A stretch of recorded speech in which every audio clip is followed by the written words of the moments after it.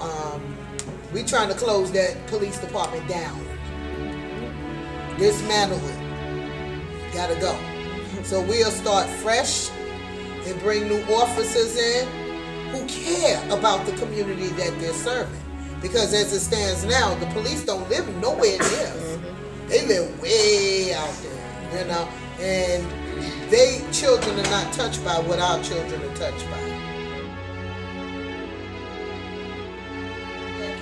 Because the elders had already laid down the framework.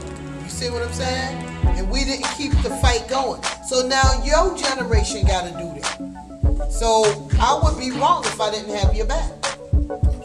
So that's where I stand. That's my role. Care, comfort, and to provide nourishment for my babies under the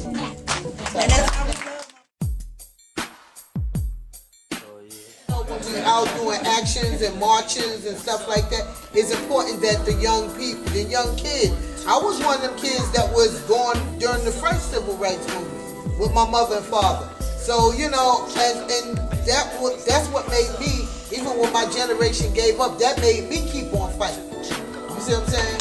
So we got to keep on going, y'all. Y'all got this, y'all. Then a lot of people I made a turkey chili, ground turkey. Yeah, see? Okay. Got some meat and some beans. So I just like to stir from the bottom, you know, to make sure you got all the good, good, good among Okay. you know, I, I, I'm the movement cook. And, you know, because I believe that these young men and women, they have to stay nourished in order to endure all that's being thrown at them. Because the police don't come and say, here, let me uh let me lock her up. No, they're gonna throw her head into something, you know, and the problem here is not just that they're arresting them. See, because we create the civil disobedience, so we expect arrest.